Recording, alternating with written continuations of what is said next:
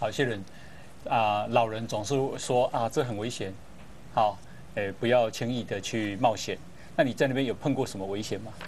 呃，在那边其实我觉得法国大致上就是跟两位比起来就真的太好了，就是法国就真的是一个治安良好的地方，嗯，而且路况啊，对啊，文明啊，就是而且它每一百公里就会有个乡镇，所以不会说哦，你这骑了什么，骑了一整天都还在一个沙漠里面，嗯，是没有，所以就是我会很鼓励大家，就是去如果骑脚踏车的话，法国是一个很好的地方，嗯，可以去。那啊，这个都不会啊，这个交通上的危险吗？比方说他们的卡卡卡车啦，法国，嗯，我觉得就是他们汽车，就是在台湾你好像会常被按喇叭，嗯，可以，好像在不知道什么在台湾你会觉得啊，按喇叭是一个对你一种威胁，就是说哎，闪闪远一点，嗯，可法国按喇叭，他通常都是只是知会你说啊，有有车要来了，然后他会他按完喇叭以后都会绕着很远。很远很远的保持一个很很远的距安全距离，很很很远的去超车，所以就是他们他们这种文化好像就已经有升值在他们的那个人民里面，就是他们的火车啊，或是公车，其实常常都有那种挂着脚踏车的那种。的那种器具，就是专门就是很对交对单车都非常友善，嗯，对对，就是他们单车就是他们就是他们一个文化。我下了火车我就骑单车，对对对，对不对？我骑单车去上火车，对对，像他们连那个高山缆车、脚踏车都可以上去，对对对，像很多什么缆车就前面就特别就是为为脚踏车设置另外一节缆车，说你你的脚踏车放前面，就不像台湾说哦，台湾还不能上火车，火车你还要特别的去搭。两铁列车这样，双铁列车，嗯，对吧？就法国这种方面就是做的很。那法国人还有有那么热情吗？像南美洲人？呃，我没有，我没有遇到这么这么这么热情的。不过倒是就是还有一次有蛮有趣的，就是我们上，因为我们想去爬比里牛斯山啊，然后比里牛斯山那天下着大雨啊，然后我们就下着大雨，然后我们去爬比里牛斯山山上，然后那时候因为我们是四月多去，然后发现。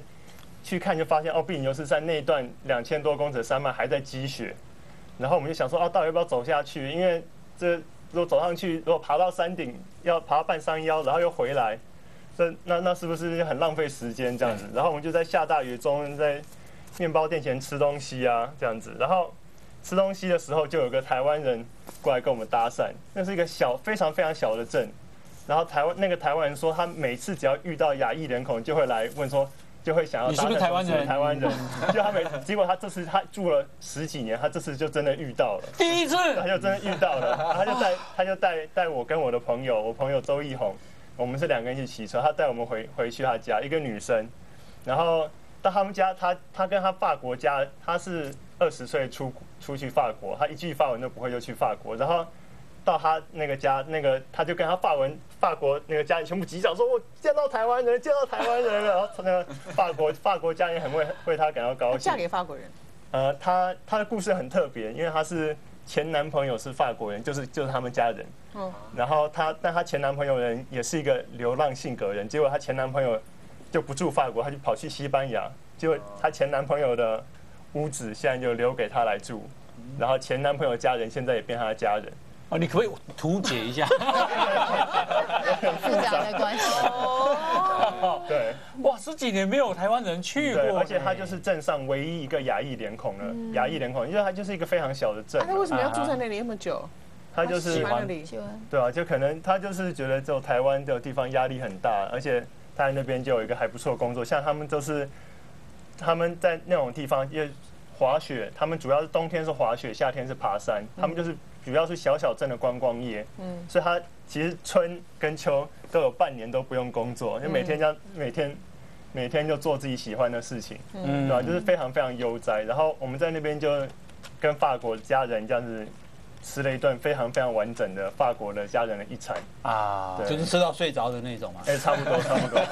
可是 其实其实到处都有台湾人。我曾经在南非很荒凉的一个那种沙漠什么地方都没有，就一个很小的小镇，居然有中中国餐厅。嗯。那我们团体在那边吃饭，就而且那中国餐厅的老板娘竟然是个台湾人，所以他就对我们非常热情，很开心。那我们就问他，我说：“那你怎么会跑到这么远的南非的这么荒凉的地方来开餐？”他说。二十年前，我参加一个旅行团，集合的时候我就没上车，车开走，从此再也没有台湾人来，只好留在那边嫁人开餐厅，一公公，他是这样，讲的。所 以这种感觉应该很棒。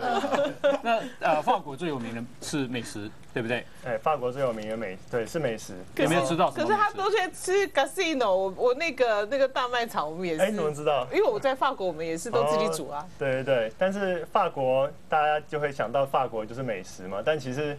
就像刚刚银主有讲到，就他们那个沙威玛，他们他们北非来的食物非常非常多，因为有法国有很多北非移民，嗯，所以像沙就是沙威玛也是每天，而且沙威玛差不多就是五欧，就折合台币差不多两百块，就但这这就是他们。路上可以找到最便宜的食物，就是所以我们最便宜了。对，而且他们都是餐车嘛，就是换算成五埃镑，二十五块台币。我们三个人有一天实在太累了，在巴黎，然后呢就找了一个真的是一个，就看起来是一个咖啡厅的，有卖简餐的，然后一个人吃了半份的三明治，啊，半份的那个就是硬的面包夹火腿跟 cheese 也有，然后就是半份，就等于一份半一条的一条加半条这样，因为一人半份，然后两杯咖啡一杯茶，这样子。好，来，郑大哥猜多少钱？多少？五十五欧。恐怖，恐怖，恐怖。五十五欧。嗯，对，所以只好后来就只好都在 casino 这个进出，因为就就是他们的大卖场啦，对哈。嗯。我们都讲我们去赌场那样子，因为感觉就是那个拼音是一样的这样子的呀。所以其实，在欧洲很贵，你六十天花多少钱？六十天，插个话哦，真的去法国这么贵，我还是觉得喜欢去你找找你那个老大。埃及也可以，埃及也可以拿拿相机的。好，那这刚开完这。差不多，我们其实吃住都还不错，就是我们。吃住都还不错，差不多花了十万十几十万多一点，六十两个半月了，嗯，对啊。但是其实中间我们也是吃了几次米米其林的餐厅，嗯，对啊，就是是一个我觉得就是一个很不一样的旅行方式。当然，就米其林餐厅，大家可能听到就说哦，那是几星的呢？但就当然就它就都不是，它就是只名列在。米其林手册，因为米其林手册其实不只是一星、二星、三星，它有其实它有名列很多推荐。所以你只是看到旁边有米其林轮胎的广告就算。他在他在那个他墙上就有贴说哦米米其林推荐的餐厅这样。其实一星大概哈一星的大概你呃一个人的套餐大概八十块。其实其实，在法国你反而去吃好餐厅。反而觉得比较划得来，反而你去吃那个路边的那种不怎么钱，你反而觉得好贵哦。嗯，你反正到乡下地方，真的米其林一颗星的一个主餐也不过才七十几块。啊，对，那加 plus 一点税啊，一百块绝对有涨。是是，我们台湾最近有一个饭店啊，请了这个法国一星一啊一星级的米其林一星级的厨煮出来，结果推出两万块套餐，然后啊推了两百两百两百份，一下就被订光。那不行，一定要去直接去法国。对呀，啊，不然就找老大。看我们经济，谁休息一下。